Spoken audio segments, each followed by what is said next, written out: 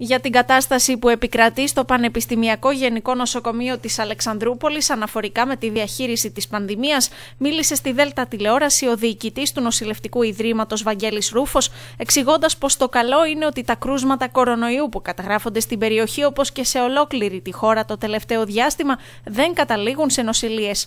Αυτή τη στιγμή στο νοσοκομείο νοσηλεύονται 23 ασθενείς σε απλές κλίνες COVID και 6 ασθενείς στη μονάδα εντατικής θεραπείας. Νομίζω ότι η κατάσταση είναι καλή από αυτή την πλευρά, αλλά από την άλλη έχουμε ένα άλλο πρόβλημα το οποίο εμφανίζεται το τελευταίο διάστημα σε όλη τη χώρα.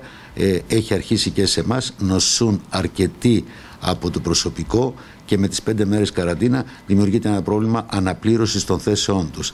Ε, μέχρι στιγμής δεν έχει γιγαντωθεί αυτό το θέμα, αλλά φαίνεται ότι θα είναι ένα πρόβλημα των επόμενων ημερών και πρέπει να το διαχειριστούμε.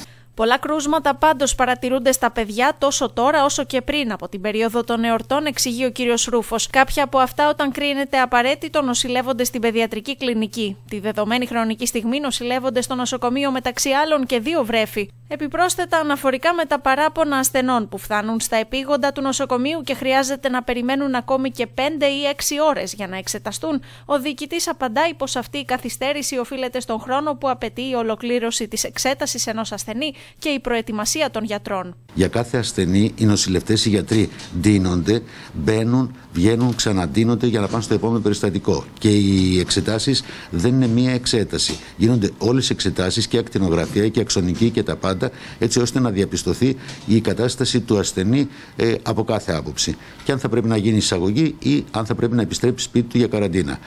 Το καταλαβαίνετε ότι είναι μια διαδικασία, ένα πρωτόκολλο το οποίο δεν μπορεί να παραβιαστεί.